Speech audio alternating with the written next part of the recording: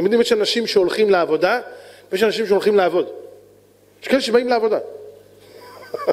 מה הם עושים בעבודה? שותים קפה, מדברים, פטפטים, גונבים את הבעל הבית, נקרא לזה במילים היפות והפשוטות, גזלנים. כי כל פועל שעובד אצל בעל הבית, שעותיו קנויות לו, אפילו אומר שלום למישהו באמצע העבודה, מדבר בטלפון, הוא נקרא גזלן. זה שולחן ערוך, זה לא בדיחות.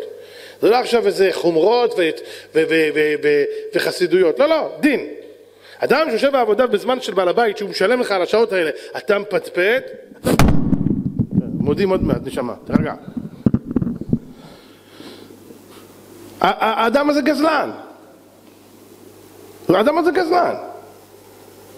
אנחנו יודעים דברים, אבל הידיעה שלנו לא מחייבת אותנו. אני חייב בחודש אלול להטמיע את מה שאני יודע, להוריד את זה לפה.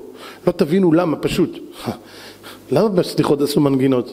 בן אדם עליך, או בן אדם עליך נרדם, קום קרא בתחנוני ועננו. ויש כאלה, עננו, הוא נותן לך צעקה, כל הבית מדרש זז. תגיד בשביל מה זה כל זה? מה באת פה לעשות בצד הפזמונים? את הניגון, תפקידו, תראו, מי שלומד מוסר בלי ניגון, זה לא עובד. הניגון תפקידו להחדיר את הדברים לתוך הלב, לתוך הנפש. זה העבודה של הניגון. היכל הניגון קרוב להיכל התשובה.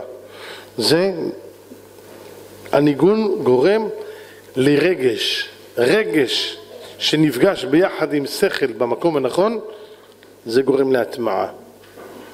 זה עוד גורם שהדברים ייכנסו לתוך הלב.